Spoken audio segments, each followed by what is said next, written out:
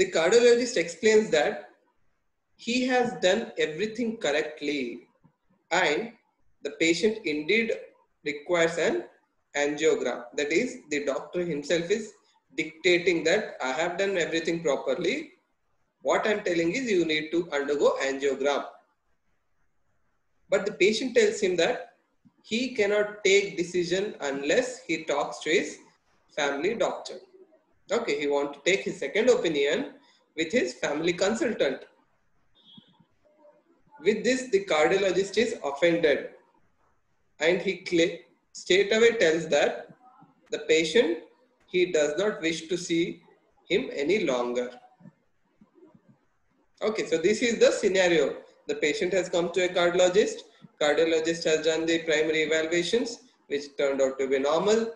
Then he done the evaluation under the stress test, that is the exercise stress test, and it found to be positive. So what he recommend is the patient should undergo angiogram. Now from the patient perspective, patient tells, sir, I want to take the second opinion. I want to show and uh, take the decision based on my consultant. Okay, the family doctor who is uh, with his family for last 20 years. Because he told he want to take second opinion, the cardiologist got offended and he straight away cancels the patient and asks him not to see him any longer. Okay, so this was a scenario. So now the point you need to discuss is trust in the doctor-patient relationship, rights of the patient, duties of a doctor, does the request for a second opinion provide sufficient ground to terminate the doctor-patient relationship? Okay, I want someone of you to answer the first question the trust in the doctor-patient relationship means was there any breach of the trust in this case of scenario? Yes, anyone?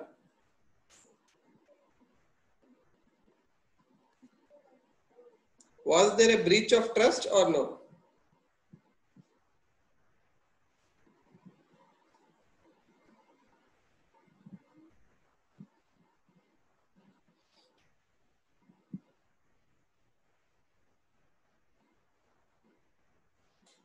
Yes, there was no breach of trust. Okay.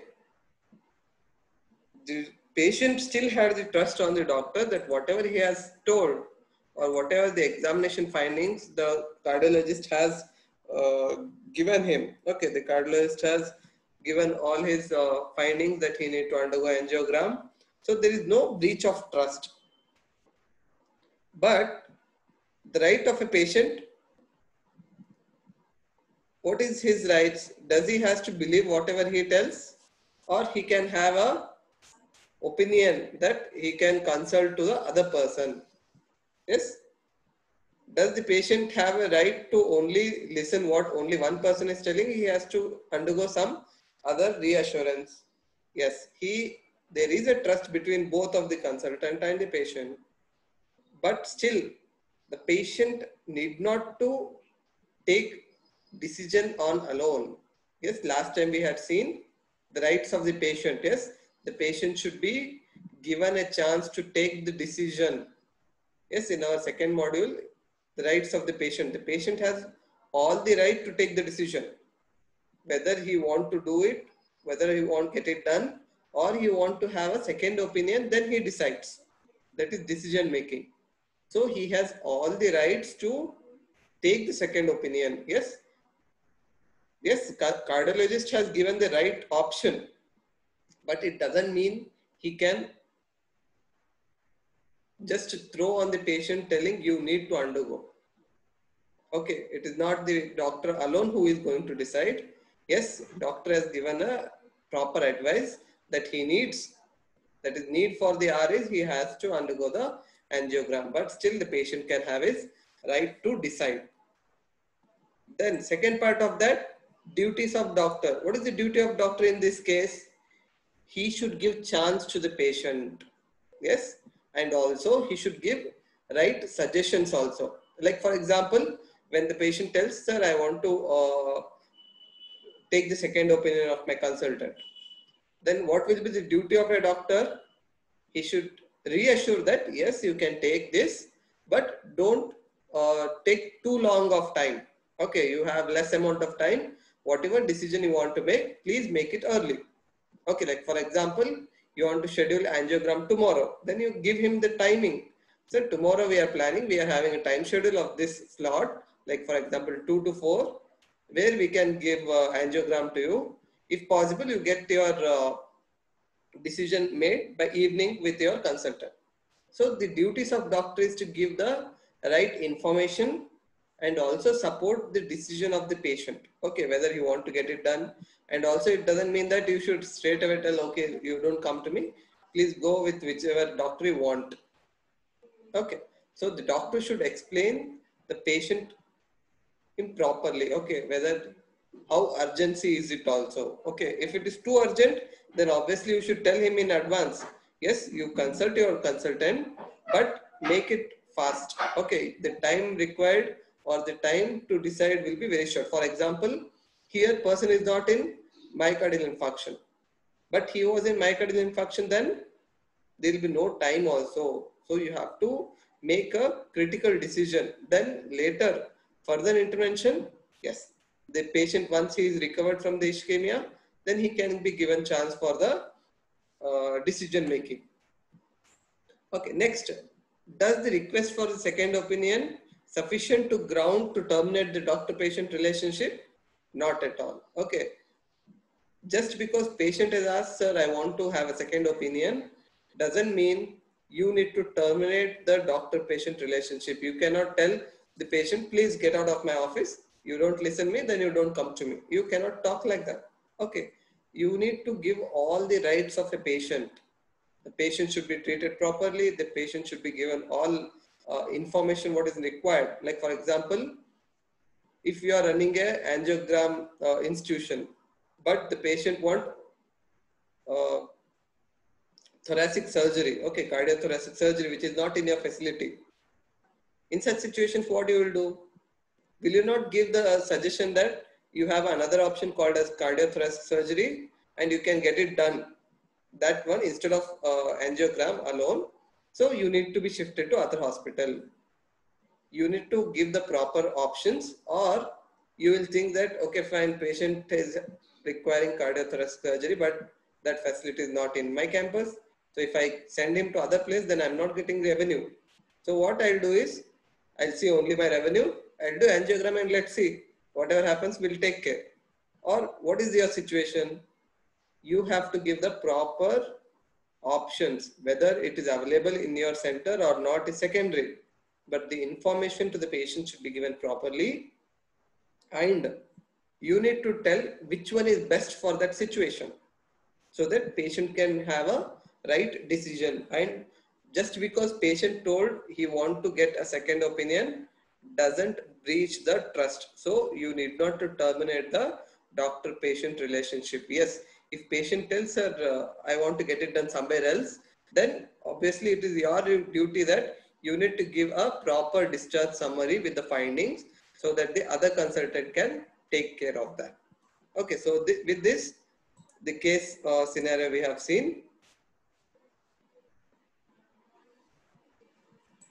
Okay.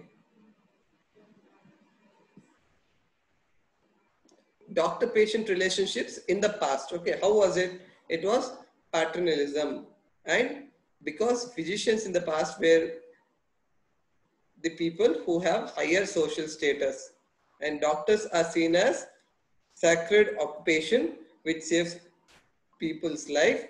And advice given them by them are seen as paramount mandate. Because at that point of time there was no much knowledge or the medical knowledge among the public so the only source of information, the only source of the uh, disease was through only doctor. So because of that thing, the patient or the people gave the paramount uh, privilege to the doctors. But in the current scenario, yes, in the current scenario, things are different. Okay, in the current scenario, the doctors are not the only one who can give the medical advice okay you have multiple sources there are plenty amount of data which is available in the free internet where person can read himself. But it, doesn't mean that they can become doctor. Okay.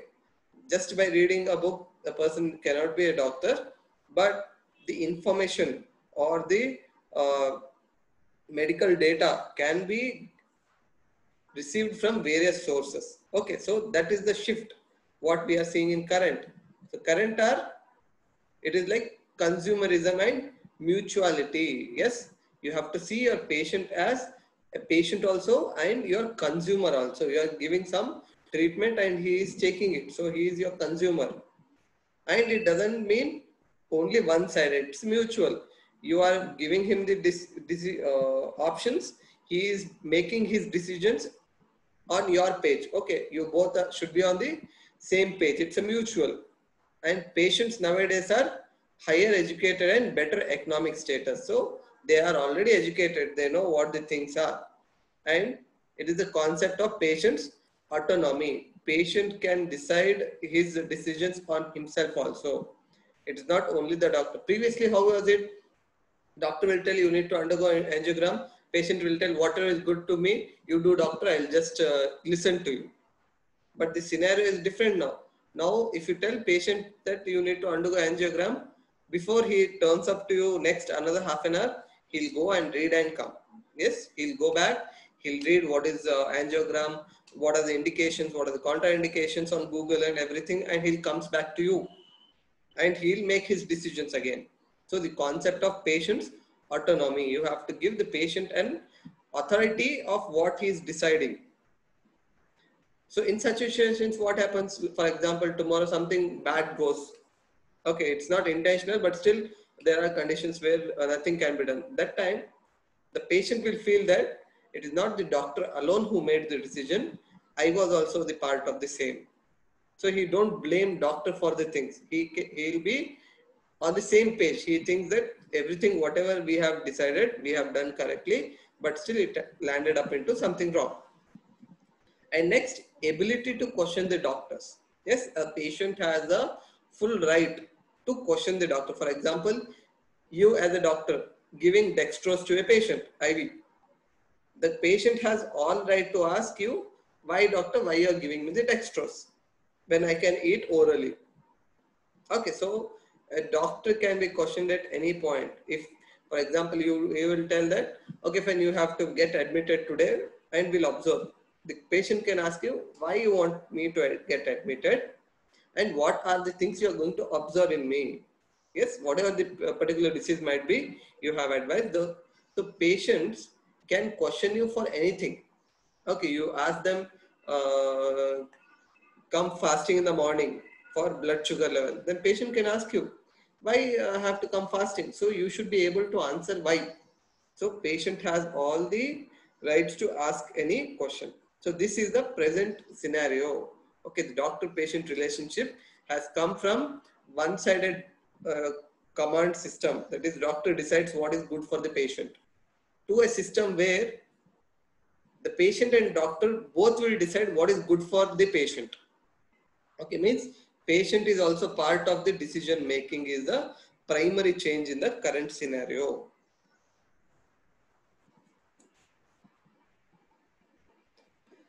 So after this, what are the things which can improve this relationship? Okay, what are the things which will improvise the relationships? What are those?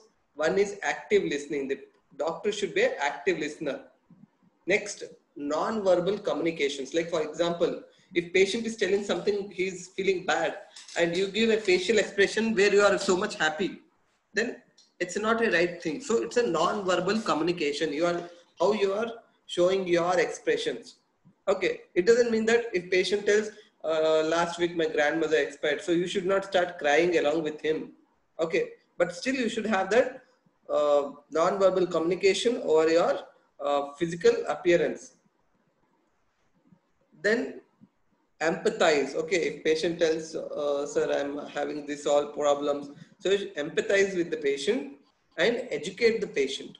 Okay, for example, if he has got diabetes mellitus, then we should educate him what is it, why it has occurred, and what are the things he need to do to control himself. Yes, that is uh, self-education of the patient. You should educate the patient. So those all comes under the improving this relationship. Then reassurance. Time to time you should reassure that nothing will happen. Everything will be taken care. For example, he is on your follow-up. For example, a chronic illness is non non-communicable like diabetes mellitus, hypertension. So they'll come to you for three months, six months, seven months. After that, the patient will lose the confidence in himself that he can control the disease or the hope of being well is reduced. The patient might start feeling hopelessness. That might again trigger for the depression that he feels he is having some disease and he is going to die, etc. So reassurance is also important part of the communication. You should time to time you should reassure and re-empathize and agreeing on the treatment plan. Both doctor as well as the patient both has to agree on the treatment plan and taking responsibility. As a doctor, you should take responsibility of the health of a person or the patient. And as a patient, he should take responsibility that he is going to follow what is been medically advised by his doctor and avoid overreacting. Okay, if uh, as I mentioned, if patient uh, uh, tells something wrong or bad thing, then you should not overreact. Or patient has some made mistake, like for example, he immediately fell in uh, on your floor or he has thrown a pen over your desk. So you should not overreact.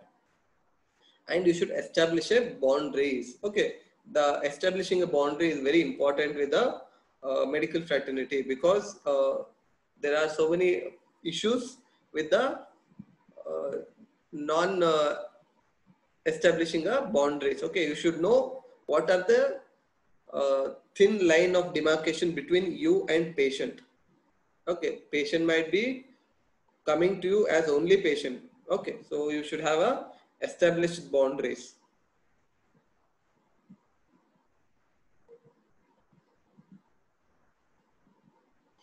Okay, next uh, module comes is the communication.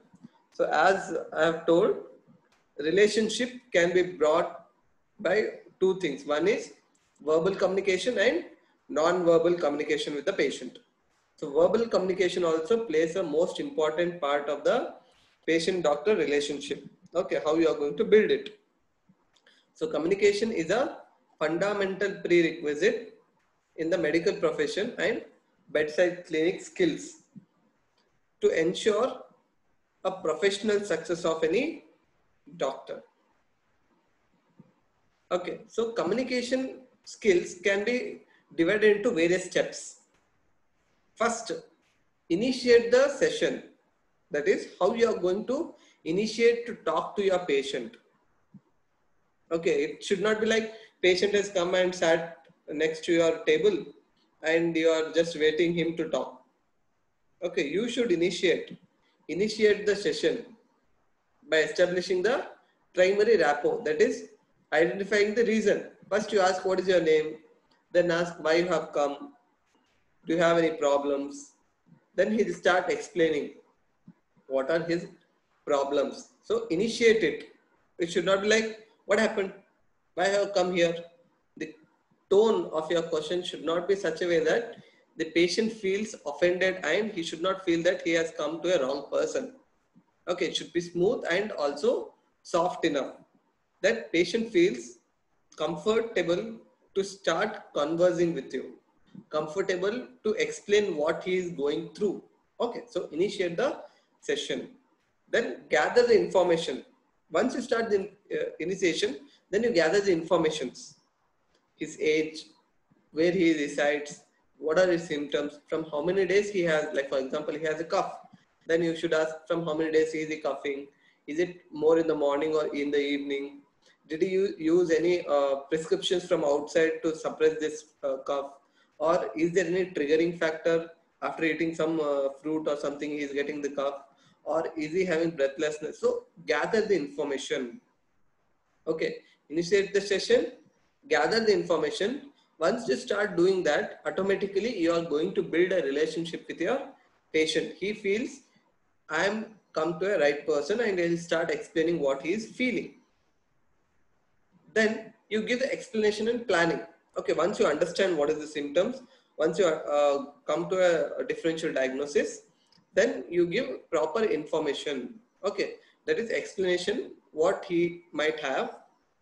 What are your plans to investigate? Are you going for investigations? Are you going directly for the treatment plan on the uh, patient symptoms? Or what are your short-term and long-term goals for the disease? For example, you have identified person as hypertension. Then what are your plans? What you are going to advise him? What stage the patient has come to you? Is he early stage hypertensive? Or is he late stage? Or he has come with some complications? So those all things, explanation and planning has to be given to the patient. And then a closing session. Okay, all of a sudden you cannot abruptly ask the patient, okay, fine, this is a prescription, leave. Okay, that is not like that. Like for example, you, you are traveling to some country and you are going by flight. Will the, uh, are you going to have landing also? Yes, you have takeoff also, you have landing also. So same way, when you are communicating with some patient, you should have takeoff, that is initiate the session, then gather the information,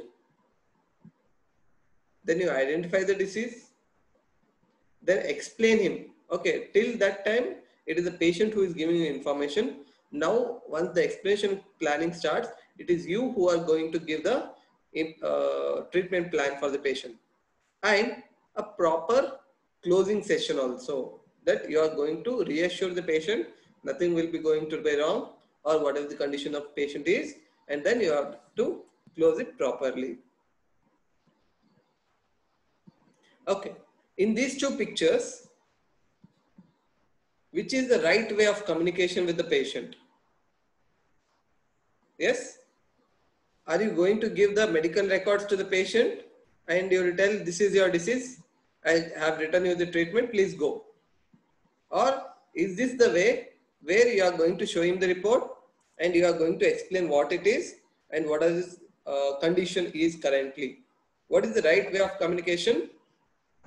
Explaining. Yes? Explaining the... Yes. You have to explain. Okay. You have to explain the patient what he has. Okay. Because if you send the reports to the patient, then patient is not satisfied with the service what you are giving what the patient do? Patient will take this report and he'll go to one more doctor. What happened in such situation?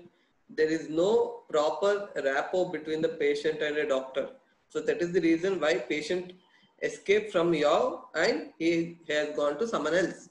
So the proper way is instead of bombarding with the things which he don't understand, instead of that, you personally explain what is the condition. Okay. This is the picture where it clearly shows what is the poor rapport means like. Okay, a doctor is busy in focusing the charts, the focusing the reports of the patient instead of seeing the patient himself.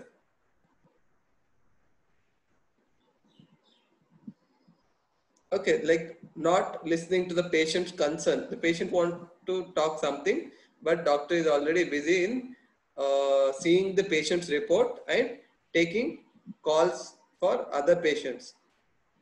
Okay, so this is a very poor rapport, depiction of poor rapport. A right rapport should be, you should explain, okay, you should give time to the patient rather than giving time to the investigation. Okay, you should not be busy in seeing his reports rather than asking him what has happened. Okay, sometimes reports can mislead you. Okay, reports can mislead you. So always first give ear to what the patient is with. Okay, patient is with. Then you can have a reports in your hand. Reports you can see anytime. Once you have a proper uh, uh, interaction with the patient, you have built a rapport with the patient, then you have examined him, then you tell the patient, okay, fine, just give me two minutes. I'll go through your reports also. Then I'll talk to you what could be the reason why you are feeling like this. Okay, you take the permission for seeing the reports rather than just you are giving your ears to patient and you are concentrating on only reports. Okay, always make sure you make the time between the conversation. You tell the patient, okay, I have examined you. I have done all the investigations also and give me some two minutes. I'll go through your investigations also and I'll come to you what is the interpretation of those reports. What, what is the change in such scenario? The patient will feel that doctor is not only seeing the reports, but he is also listening to me. Okay, most of the time patients come to you because not he is coming to you for the first time. He has, he would have gone to many doctors before he has visited your clinic. He has come to you thinking that you are not the same like the others. You are going to give ears to what he is complaining or she is complaining. So that is the primary thing what you always keep in your mind, communication. Then your prescription. Okay, prescription sh should be readable by anyone. Okay, prescription should not be like only the person who writes it can guess it. Okay, it, it should not be like that. The prescription should be neat and clear enough that any person, including the patient, should be able to read what you have written in on the prescription pad. Okay, so this is a wrong depiction where you are going to write in a, such a pattern where no one can understand what is the findings what you have enlisted in the prescription pad. Next, you should always avoid the jargon. Okay.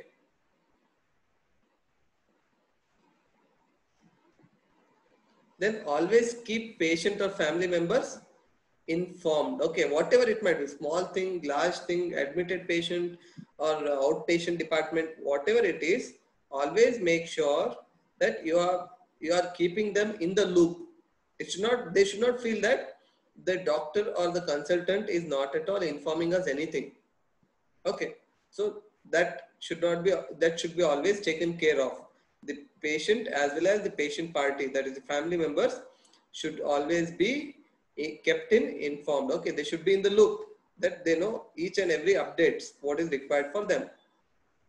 So this will reduce our ignorance breeds fear and fear breeds hate and hate breeds violence. If the doctor or the consultant don't inform, like for example, you can imagine a person whom you know is in the ICU for two days and what is going on inside you don't know anything but a nurse is coming. She's giving you prescription asking you to get the drugs which are costing you 10000 per day. And two days are over like this only. The third day what is your situation? Don't you get angry because you are not informed anything? Instead they are asking you to pay only the bills uh, pay for the drugs. You don't know how is the patient. You don't know what is the condition of the patient. Is he serious? Is he normal? Or is he recovering? Or whether he is dead inside or is he alive or these drugs are given to my patient only or not so you have hundreds of questions in your brains so always make sure you keep them informed so that is the first law okay always keep the patient and family members in the loop. Because what happens is if you ignore, then the patient party who is sitting outside will be in fear. Slowly that fear turns into a hate, thinking that you are just paying the bill and these people are not doing anything inside. And if something goes wrong, what will be the reaction? A violence. Okay, violence over the hospital fraternity. So these always keep patient and family member informed. Next, patients are always in vulnerable position. Okay, you, you cannot uh, uh, depict that patient is always enjoying the facility what you are giving. They are always in the vulnerable position. Yes, 80% of the medical students fail to introduce themselves adequately and explain their intentions in a studying involved. Okay, there was study so this is common. Okay, whenever, like for example, when you go for second year also, you'll be going for uh, bedside clinics. You'll be going to take the uh, patient history. When you go to the patient, you always ask, what is your name? But you never tell or introduce yourself. Okay, that is the scenario. What happens if you don't introduce yourself? What the patient thinks? He is being interviewed by an unknown person. He don't have the rapport with you. You might be asking 100 questions, but still he'll not have a rapport because when he don't know you, he don't care about you. Okay, so always make sure you introduce yourself with whomever is speaking, whatever any platform, whether you are talking on the uh, forum or you are talking with the patient or you are talking with the patient party, always make habit that they know who you are. That is, you need to have a proper introduction of yourself.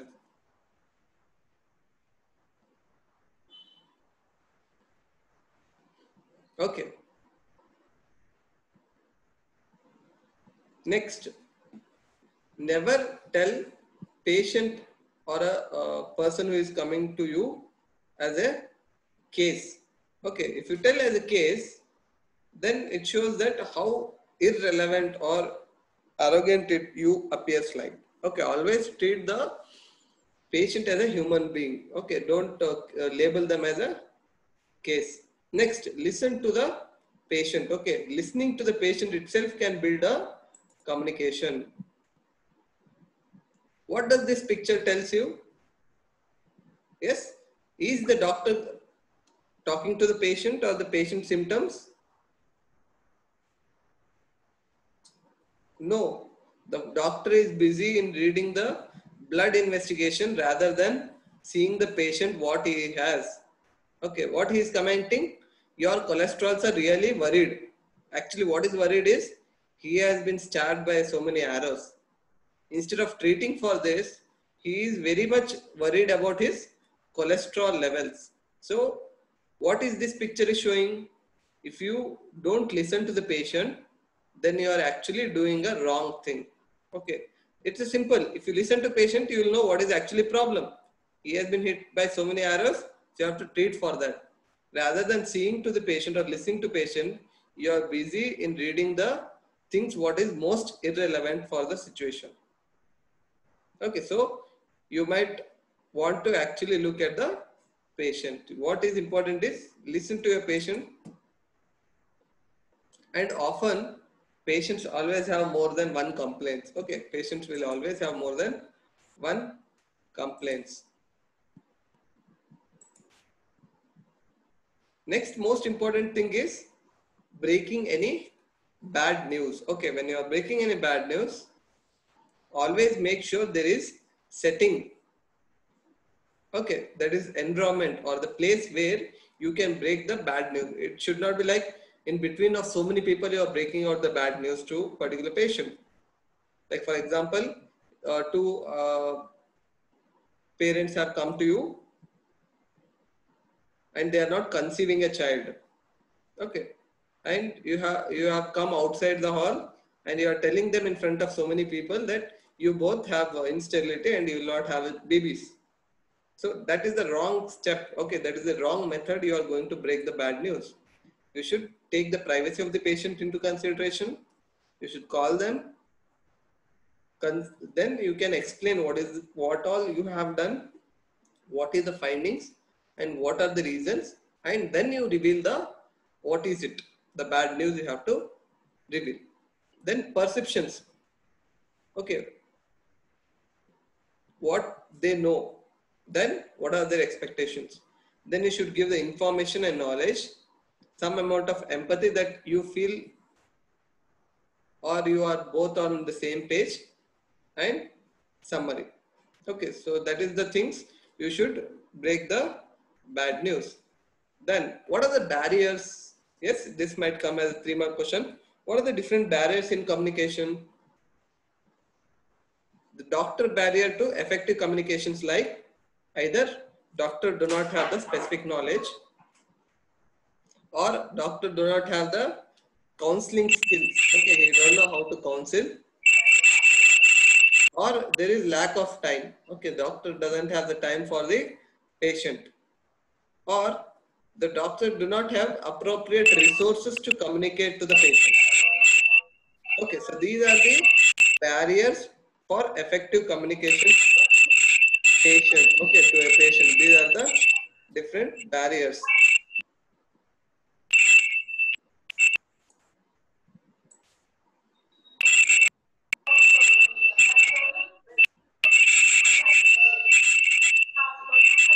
Okay, what are the patient barriers?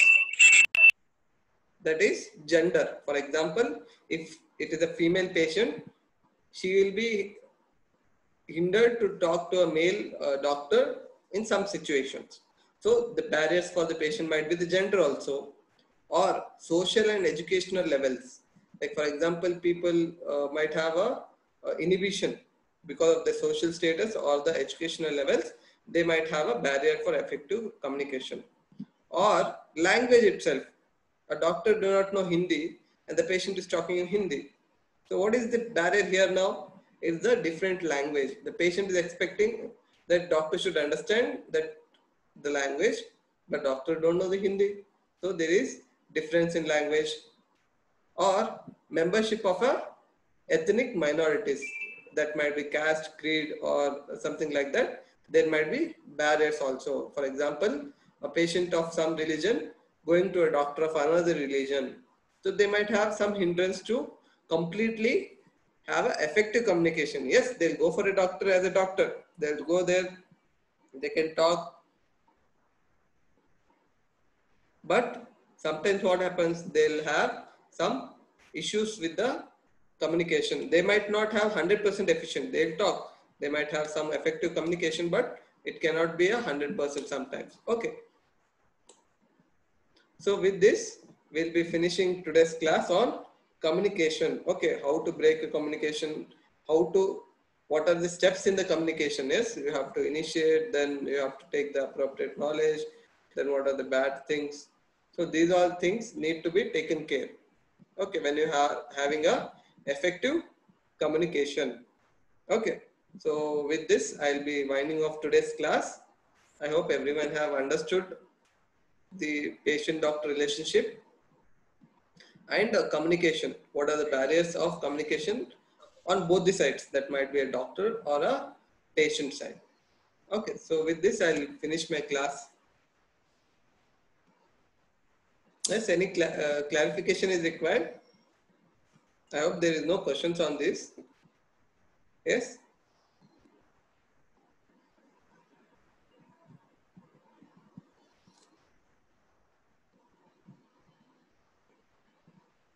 Okay, fine. Thank you very much for your patience listening.